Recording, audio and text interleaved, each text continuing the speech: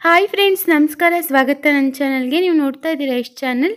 ಇವತ್ತಿನ ಎಪಿಸೋಡ್ನಲ್ಲಿ ಭಿಂಡಿ ಡೂ ಪ್ಯಾಜಾ ಅನ್ನುವಂಥ north Indian recipe share ಮಾಡ್ತಾ ಇದ್ದೀನಿ. ಇದು ಪ್ಲೇನ್ ರೊಟ್ಟಿ, ಚಪಾತಿಗೆಲ್ಲ ತುಂಬಾ ಚೆನ್ನಾಗಿರುತ್ತೆ. ಒಳ್ಳೆ ಕಾಂಬಿನೇಷನ್ ಅಂತ ಹೇಳ್ಬೋದು. ಸೊ, ಮಾಡೋದು ಹೇಗೆ ಅಂತ ನೋಡೋಣ. ಮೊದಲಿಗೆ ಬಾಣಲೆ ಬಿಸಿಗೆ ಇಟ್ಕೊಂಡಿದ್ದೀನಿ. ಇದಕ್ಕೆ ಎರಡು ಟೇಬಲ್ ಸ್ಪೂನಷ್ಟು ಎಣ್ಣೆ ಹಾಕೊಳ್ಳೋಣ. ಇದು ಬೆಂಡೆಕಾಯಿ ಚೆನ್ನಾಗಿ ಹುರ್ಕೊಳ್ಳೋದಕ್ಕೆ.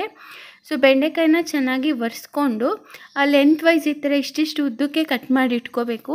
ಉದ್ದಕ್ಕೆ ಕಟ್ ಮಾಡಿದ್ರೇ ಈ ರೆಸಿಪಿಗೆ ತುಂಬ ಚೆನ್ನಾಗಿರುತ್ತೆ. ಬೆಂಡೆಕಾಯಿ ಮೇಲೆ ಸ್ವಲ್ಪ ಬ್ರೌನ್ ಕಲರ್ ಲೇಯರ್ ಬರೋ ಥರ ಇದನ್ನು ಚೆನ್ನಾಗಿ ಹುರ್ಕೊಳ್ಳಿ. ಅಂಟೇನು ಬಿಡೋ ಅವಶ್ಯಕತೆ ಇಲ್ಲ. ಜಸ್ಟು ಇದನ್ನು ಎಣ್ಣೆನಲ್ಲಿ ಬಾಡಿಸ್ಕೊಂಡ್ರೆ ಸಾಕು. ಈ ಪ್ರೋಸೆಸ್ ನಿಮಗೆ ನಾಲ್ಕರಿಂದ ಐದು ನಿಮಿಷ ಟೈಮ್ ತೊಗೊಳುತ್ತೆ.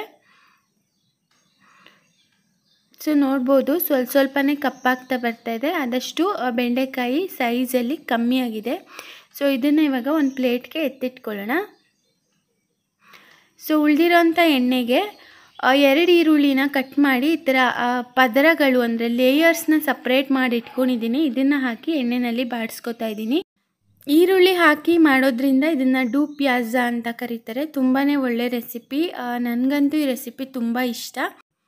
ಬೆಂಡೆಕಾಯಿನಲ್ಲಿ ಅಷ್ಟೇ ಅಲ್ಲದೆ ಪನ್ನೀರ್ ಪ್ಯಾಜ ಪ್ಯಾಜಾ ಆ ಥರ ಎಲ್ಲ ಮಾಡ್ಕೋಬೋದು. ತುಂಬಾ ಚೆನ್ನಾಗಿರುತ್ತೆ. ಸೊ, ನೋಡಿ ಈರುಳ್ಳಿ ಸ್ವಲ್ಪ ಬಾಡಿಸ್ಕೊಂಡಿದ್ದೀನಿ. ಇವಾಗ ಈರುಳ್ಳಿನೂ ಕೂಡ ನಾನು ಸೇಮ್ ಪ್ಲೇಟ್ಗೆ ಎತ್ತಿಟ್ಕೊಳ್ತಾ ಇದ್ದೀನಿ. ಈರುಳ್ಳಿ ಎಷ್ಟು ಜಾಸ್ತಿ ಹಾಕ್ತಿರೋ ಅಷ್ಟೇ ಚೆನ್ನಾಗಿರುತ್ತೆ ಈ ರೆಸಿಪಿ. ನಾನು ಇನ್ನೂರು ಗ್ರಾಮ್ನಷ್ಟು ಬೆಂಡೆಕಾಯಿ ಜೊತೆಗೆ ಎರಡು ಈರುಳ್ಳಿ ಹಾಕಿದ್ದೀನಿ.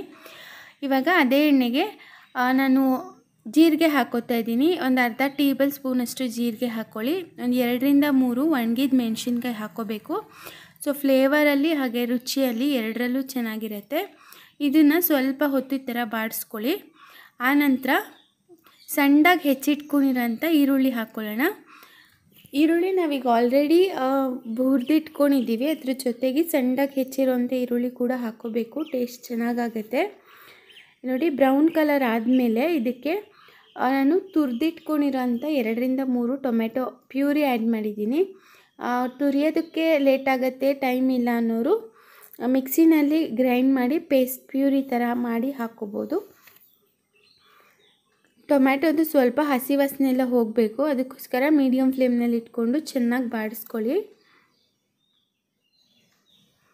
ಸೊ, ನೋಡ್ಬೋದು ಇವಾಗ. ಸೈಡಲ್ಲೆಲ್ಲ ಎಣ್ಣೆ ಬಿಡ್ತದೆ. ಇವಾಗ ಒನ್ ಟೇಬಲ್ ಸ್ಪೂನಷ್ಟು ಅಚ್ಕಾರದ ಪುಡಿ. ಹಾಗೆಯೇ ಅರ್ಧ ಟೀ ಸ್ಪೂನಷ್ಟು ಅರಿಶಿನ ಪುಡಿ, ಹಾಗೆ ಸ್ವಲ್ಪ ಗರಂ ಮಸಾಲ ಪೌಡರ್ ಇದಿಷ್ಟನ್ನು ಹಾಕಿ ಟೊಮ್ಯಾಟೊ ಮಿಕ್ಸ್ಚರ್ ಜೊತೆಗೆ ಚೆನ್ನಾಗಿ ಮಿಕ್ಸ್ ಮಾಡಿ ಅದ್ರದ್ದು ಕೂಡ ಹಸಿ ವಾಸನೆ ಹೋಗೋವರೆಗೂ ಚೆನ್ನಾಗಿ ಬಾಡಿಸ್ಕೊಳ್ಳಿ. ನೋಡ್ಬೋದು ಸೈಡಲ್ಲೆಲ್ಲ ಎಣ್ಣೆ ಬಿಟ್ಕೊಳ್ತಾ ಇದೆ, ಇವಾಗ ಗ್ರೇವಿ ಪರ್ಫೆಕ್ಟಾಗಿ ಆಗಿದೆ ಅಂತ ಅರ್ಥ. ಇದಕ್ಕೆ ಒಂದು ಕಾಲು ಟೀ ಸ್ಪೂನಷ್ಟು ಅಂದರೆ ಕಾಲು ಲೋಟದಷ್ಟು ನೀರು ಹಾಕಿ ಗ್ರೇವಿನ ಒಂದು ಸ್ವಲ್ಪ ತೆಳುವಾಗಿ ಮಾಡ್ಕೋತಾ ಇದ್ದೀನಿ.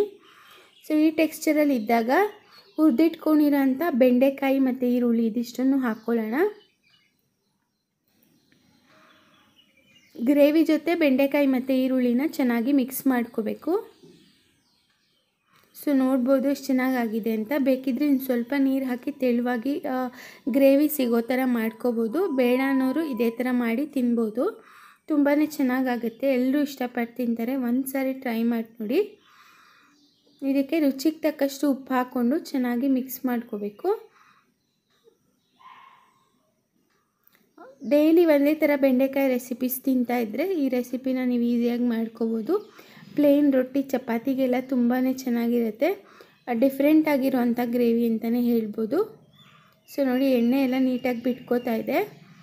ಆದಷ್ಟು ಈ ರೆಸಿಪಿಗೆ ಎಣ್ಣೆ ಸ್ವಲ್ಪ ಜಾಸ್ತಿನೇ ಬೇಕಾಗುತ್ತೆ, ಯಾಕಂದರೆ ಎಲ್ಲ ಫ್ರೈ ಮಾಡಿ ಯೂಸ್ ಮಾಡುವಂಥದ್ದು.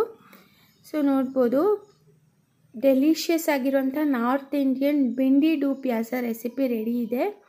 ಸೊ ಈ ರೆಸಿಪಿ ನಿಮಗೆಲ್ಲ ಇಷ್ಟ ಆಗಿದ್ದರೆ ಲೈಕ್ ಮಾಡಿ ಶೇರ್ ಮಾಡಿ. ನೀವಿನ್ನೂ ನನ್ನ ಚಾನಲ್ ಸಬ್ಸ್ಕ್ರೈಬ್ ಆಗಿಲ್ಲ ಅಂದರೆ ದಯವಿಟ್ಟು ಚಾನಲ್ ಸಬ್ಸ್ಕ್ರೈಬ್ ಮಾಡ್ಕೊಳ್ಳಿ. ನಿಮ್ಮ ಅನಿಸಿಕೆ ಅಭಿಪ್ರಾಯಗಳನ್ನ ಕಮೆಂಟ್ ಸೆಕ್ಷನಲ್ಲಿ ತಿಳಿಸಿ. ಆ್ಯಂಡ್ ಥ್ಯಾಂಕ್ಸ್ ಫಾರ್ ವಾಚಿಂಗ್ ನಮಸ್ಕಾರ.